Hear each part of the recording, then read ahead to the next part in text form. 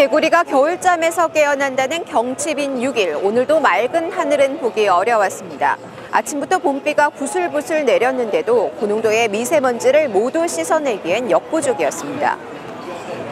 6일 대구의 미세먼지 농도는 세제곱미터당 127 마이크로그램, 경북은 148 마이크로그램으로 모두 매우 나쁨 수준을 보였습니다. 밖에 나오면 숨이 턱 막히는 공기에 남녀노소 할 것 없이 하루 종일 불편이 이어졌습니다.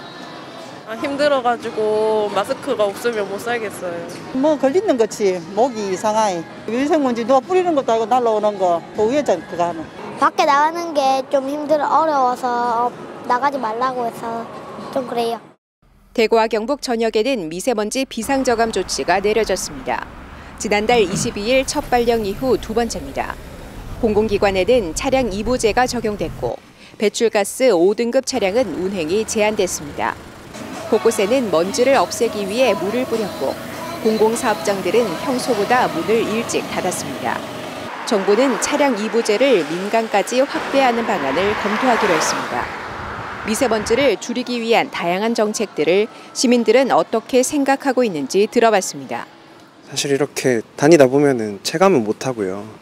뭐 거시적으로 효과가 있을지 몰라도 저한테는 딱히 체감은 안 느껴지네요.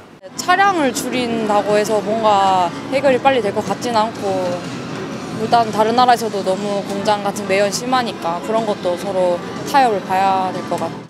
차 그거 한다 하는데 잘 안 지켜지는 것 같거든요.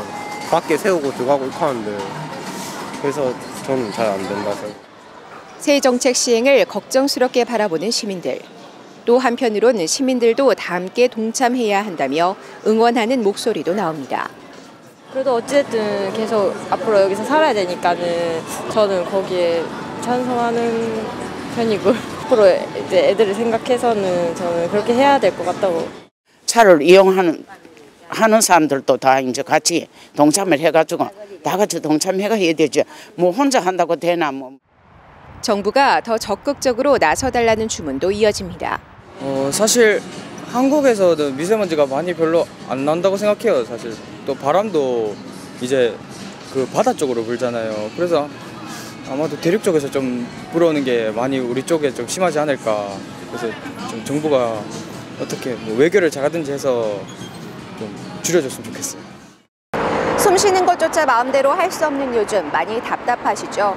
보다 좋은 정책들이 많이 나와서 잘 자리 잡는 것도 중요하지만 이런 정책들이 시행될 필요가 없는 맑은 공기로 가득한 세상이 하루빨리 오기를 기대해 봅니다. 헬로티비 뉴스 김성경입니다.